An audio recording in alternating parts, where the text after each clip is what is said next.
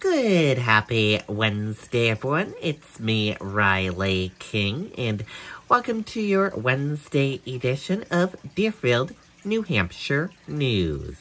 Let's get started with Deerfield, New Hampshire News right now for this Wednesday. Happy Wednesday.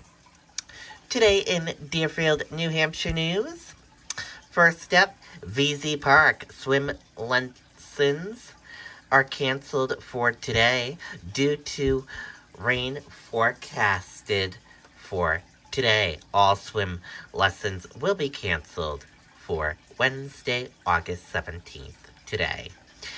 The lessons will resume on Thursday, August 18th.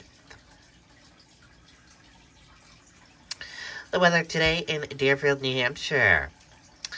Right now it is mostly cloudy, 64 degrees, but for today, rain showers early becoming a steady light rain in the afternoon. High 66 degrees, winds north at 10 to 15 miles per hour. Chance of rain, 80%. And we do need that rain, for sure. And here's a look at the traffic in Deerfield, New Hampshire this morning. As you can see, we got some smooth sailing traffic with a little bit of medium pace traffic. Not too bad of a ride this morning in Deerfield, New Hampshire.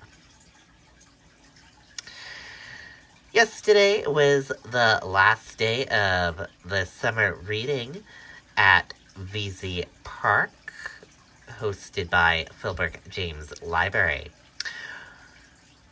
Philbrick James Library posted, What a way to end our Oceans of Possibilities summer reading program.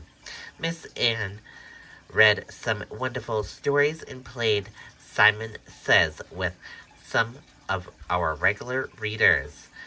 We gave away lots of raffle prizes to those who have regularly kept track of their hours and put tickets in the drawing.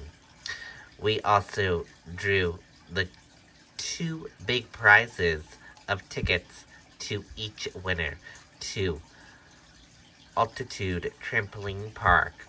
Parents, please stop by to pick up the kids' certification and inquire about their prizes. Thank you to all participated. Keep reading and watch for more fun fall calendar.